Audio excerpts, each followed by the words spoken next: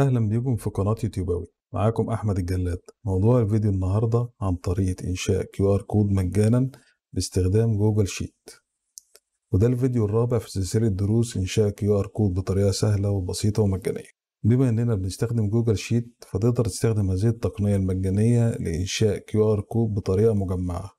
يعني لو عندك مثلا مجموعة مواقع وعايز تعمل لكل موقع فيهم QR code خاص بيه بطريقة سهلة وبسيطة وسريعة وده الشيء اللي مش موجود لحد دلوقتي في ال Excel. ونظرا إن Google Sheet مجاني من السهل إعداد هذا العمل بمجرد إنك تعرف الدوال الصحيحة اللي هتحتاجها لإنشائه بشكل صحيح. وده اللي هنشرحه ليك النهاردة. وقبل ما نبدأ ما تنساش الاشتراك في القناة لو مش مشترك وتفعيل زر الجرس ليصل كل جديد و like للفيديو. فلنبدأ على بركة الله.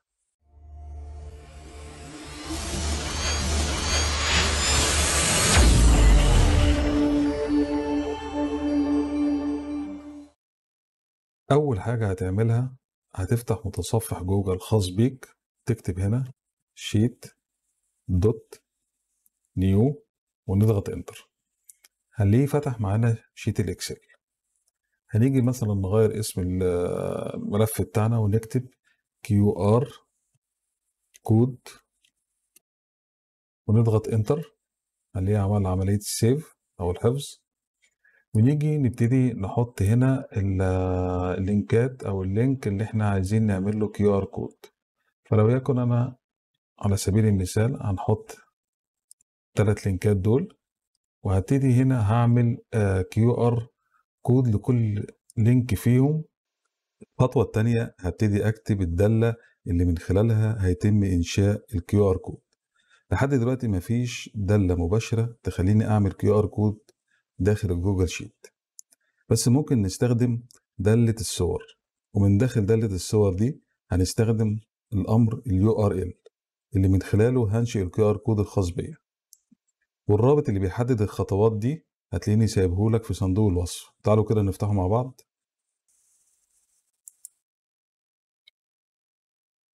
ده اللي هتحتاجه في إنشاء ال QR code الخاص بيك. وده ال URL اللي هنستخدمه. بالإضافة هنا هنلاقي بعض ال parameters اللي نقدر إن إحنا إيه أو متطلبات اللي هنحتاجها في إنشاء ال QR code الأمر ده اللي من خلاله بيفهم إن إحنا عايزين ننشئ كيو آر كود والأمر التاني آه من خلاله بنقدر نحدد حجم ال QR code ده كام في كام يعني الارتفاع والعرض بتاعه قد إيه. والأمر التالت بتاعنا هو خاص بال data اللي أنا عايز أعرضها. سواء عايز تعرض موقع إلكتروني أو أي information أنت عايز تعرضها أرقام تليفونات موقع الخريطة. دي أهم ثلاث متطلبات لازم إيه؟ يبقوا معانا بالإضافة طبعا للإيه؟ ال URL اللي إحنا هنبدأ بيه. بنيجي هنا مثلا ناخد نعلم على parameter ده ونضغط control C إن أنا أخدتها copy وده كمان control C. وهنا control C. وال URL control C. طب أنا علمت كده على الأربعة دول واخدتهم copy نرجع تاني لملف ال sheet بتاعنا. نبتدي من هنا نكتب الأمر بتاعنا. أول حاجة بنعمل نكتب يساوي. واكتب الدالة بتاعتي اللي هي image زي ما إحنا اتفقنا. مجرد ما اضغط enter كده هيبتدي يقول لي ال URL إيه ابتدي أعمل هنا quotation mark واعمل control V أو paste لل ال URL اللي إحنا إيه أخدناه copy من هنا. تاني حاجة على طول هبتدي أحط اللي هو الأمر التاني ده بس تعالوا بقى نعرف حاجة كده بسيطة. لو عملت شباك في رمز الشباك من ال keyboard حرف ال V هيبتدي يفتح لي ال clipboard بتاعت الايه الأوامر ال copy اللي أنا أخدتها. فأنا قلنا إن إحنا تاني حاجة هنحطها إن أنا هنا بعرفه إن أنا عايز أنشئ QR code. ابتدي أحطها كده. تمام؟ بعد كده خلصت كده ال URL وال mode بتاعي. هبتدي بعد كده أعمل علامة ال and اللي هي شيفت سبعة. ببتدي أحط الأمر التاني اللي هو الخاص بالارتفاع والعرض والارتفاع.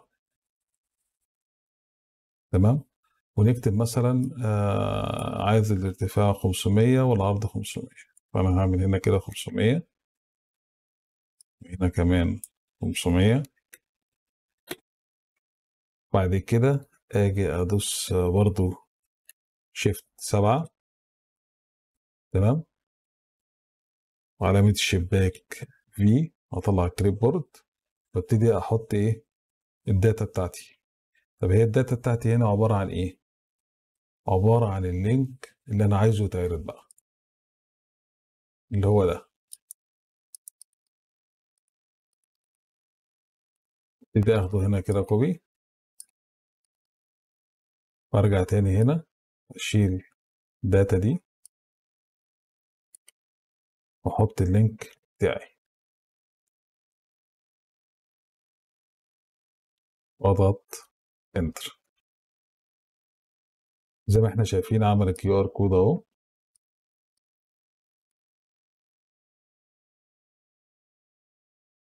وبكده أنا نجحت في إنشاء QR code الخاص بيا. طب لو أنا جيت هنا في ال QR code ده سحبته لتحت كده هلاقي إن كل واحدة من دول كل QR code من ده خد نفس آه ال website أو ال link الأول اللي أنا حطيته بتاع الفيسبوك كده. طبعا الكلام ده ما ينفعش. يا إما قدامي إن أنا آه في كل link أقعد آخد copy وأحط ال link بتاعه أو إن أنا أعمل طريقة ديناميكية تمام بسيطة بطريقة أوتوماتيكية وسهلة جدا. وزي ما إحنا هنشوف دلوقتي هنعملها إزاي مع بعض. ونيجي هنا نعمل control Z undo ونيجي نشيل ال link بتاعنا اللي إحنا حاطينه ونخلي CHL يساوي double quotation وبعد كده نعمل shift سبعة اللي هي and واكتب رقم الخلية اللي أنا هبدأ منها آه اللي فيها أول link اللي هي لو يكن عندنا هنا اللي هي ال B 3 ونبتدي كده نيجي نشوف مع بعض. هنعمل برضو drag ال QR code تحت كده للتلاتة. كده أصبح دلوقتي إن كل خلية أو كل QR code من ده خد الخلية اللي قدامه. يعني ده مثلا التاني ده خد ال link الانستجرام آه وال link التالت خد اليوتيوب بالطريقة دي. بقت دي اسمها كده مثلا دلوقتي B 4 لو إحنا زي ما إحنا شايفين فوق كده و B 5 وبكده بقى أنا لو عندي مثلا 10 15 link خلاص هو خد كل QR code خد رقم الخلية أو خد ال data اللي موجودة في الخلية اللي قدامه. ودلوقتي إحنا هنعمل آخر خطوة وهي خطوة مهمة جدا وللأسف اللي ما كملش الفيديو للآخر آه ممكن يلاقي صعوبة في الموضوع ده. وهي إزاي إن أنا أحفظ ال QR code ده كصورة عندي وأقدر أستخدمها في أي حاجة. في الأول كنت أقدر من ال Google Sheet إن أنا أقدر إن أنا أعمل save لل file ده وأقدر آخد copy من هنا على طول للبرامج التانية ال PowerPoint ال Word ال Photoshop ايا كان. أقدر آخد copy لل QR code وأعمل paste في أي برنامج. دلوقتي الموضوع ده مش موجود. دلوقتي أنا لو خدت كده control C تمام copy ورحت لل Word عملت control V مش هلاقي ال QR code طالع. طب إيه الحل؟ الحل هقوله لكم دلوقتي إن إحنا هنروح لقائمة file وبعد كده هعمل download هعمله بصيغة PDF هعمل ال download بصيغة PDF لو ضغطت كده على PDF مش مشكلة طالع قدامك إيه بالظبط يعني. المهم إن أنت هتعمل إيه؟ export تمام؟ وهيبتدي يعمل download ودلوقتي هو الملف أهو ال file نزل معانا ال sheet بتاعنا. مجرد بس إن أنا إيه آجي أعمل كده show folder وأفتح الملف بتاعي على برنامج ال PDF وأضغط كده على الصورة اللي أنا عايزها ولو يكن أهي right click وأعمل save image as وأجي أعمل لها مثلا save على ال desktop. نيجي نشوف كده مع بعض. هلاقيه إن هو نازل أسود كده.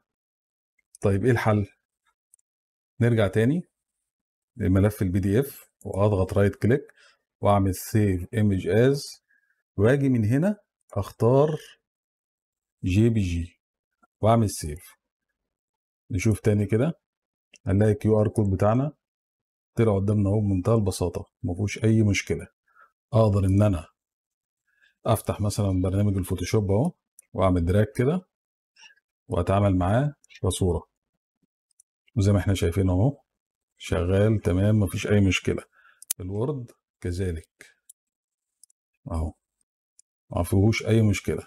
أي برنامج خلاص انت بقى عندك صورة آه، منفصلة بال QR code بتاعك تقدر تستخدمها في أي حاجة. ودلوقتي ما فاضلش إلا آخر خطوة وهي إن إحنا نعمل test على ال QR code الخاص بينا. فمثلا أنا هاخد آخر QR code ده اللي هو يوتيوباوي قناة يوتيوباوي على اليوتيوب وأعمل عليها scan زي ما إحنا شايفين ظهر قدامنا أهو ال link الخاص بقناة يوتيوباوي.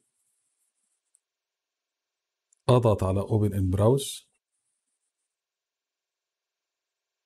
هنلاقيه شغال معانا بصورة طبيعية. شكرا لمتابعتكم لآخر الفيديو. أتمنى إن أنتم تكونوا استفدتوا من شرح النهارده. وان شاء الله أشوفكم في فيديو جديد. ما تنسوش الاشتراك في القناة وتفعيل زر الجرس و like للفيديو.